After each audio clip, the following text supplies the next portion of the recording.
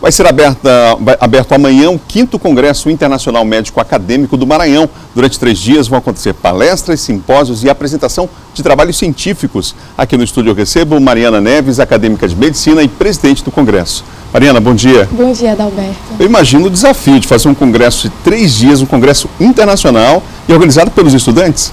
Sim, é um desafio muito grande para nós. Na realidade, o Coimama já está na sua quinta edição e desde então cada ano é uma batalha que a gente trava em prol do conhecimento científico, em prol da disseminação da ciência médica no nosso estado. Como é que surgiu a ideia de fazer esse congresso aqui? Vocês percebiam que havia essa dificuldade de troca de experiência entre os profissionais, de acesso a muitas informações?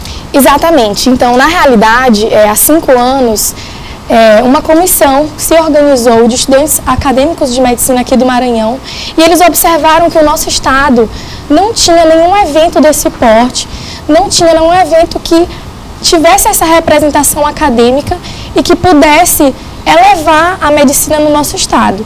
Desde, desde aí, a cada ano, novas comissões são eleitas e se organiza o COIMAMA. Bom, é, quantas inscrições é, vocês esperam atingir esse ano? Até agora, quantas inscrições já foram feitas e qual, é, qual é a, a, média que vocês imaginam para esse ano? A nossa expectativa é de mil congressistas e nós já tivemos 800 congressistas inscritos até hoje. O número hoje já é maior do que do, do ano Sim, passado? Sim, já é maior do que no ano passado. Trabalhos escritos, a quantidade e a qualidade desses materiais, o que a gente pode falar sobre isso? Então, nós tivemos esse ano é, 259 trabalhos científicos inscritos. No ano passado, nós tivemos 280.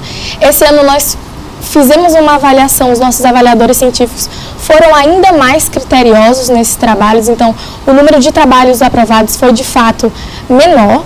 E esses trabalhos são muito importantes porque posteriormente eles são publicados em anais, em revistas científicas internacionais.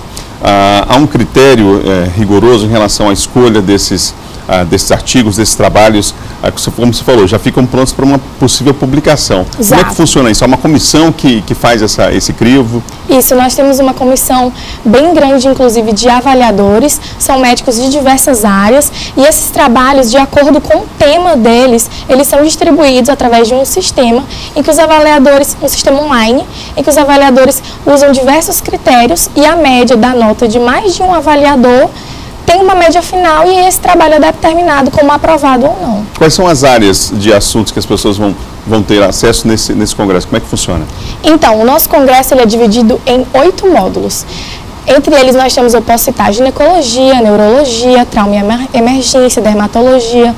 Mas, além dos módulos, nós temos também um simpósio satélite, que é o simpósio de dor, cuidados paliativos e anestesiologia.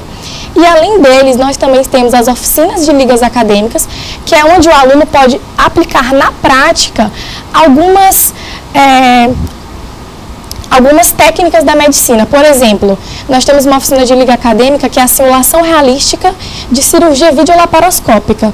Hoje em dia a gente sabe que a ciência tem avançado cada vez mais e a cirurgia robótica videolaparoscópica está muito em alta. E o aluno nessa oficina, ele pode aplicar na prática com aparelhos reais como fazer uma cirurgia videolaparoscópica.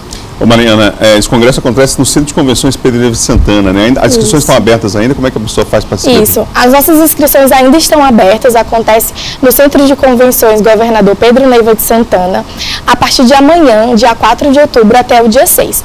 A nossa programação começa às 8 horas da manhã do dia de amanhã e as inscrições ainda estão abertas no nosso site, que é www.quintocoimama.com.br. Os palestrantes são renomados, pessoas de reconhecimento é, da área, enfim, vocês tiveram essa preocupação também na hora de montar a programação? Sim, exatamente. Nós temos palestrantes de vários estados do Brasil, inclusive estamos trazendo o doutor Daniel Fortes, que ele é o médico coordenador dos cuidados paliativos do Ciro Libanês há mais de oito anos. Obrigado, Mariana. Sucesso no evento Obrigada, de amanhã. Roberto.